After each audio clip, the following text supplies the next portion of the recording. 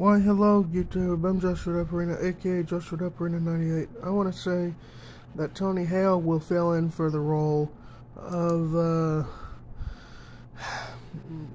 David Goodman, okay?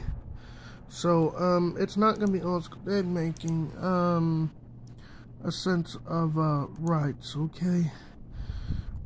So, okay, so it'll be Tony Hale, okay? Mm-hmm.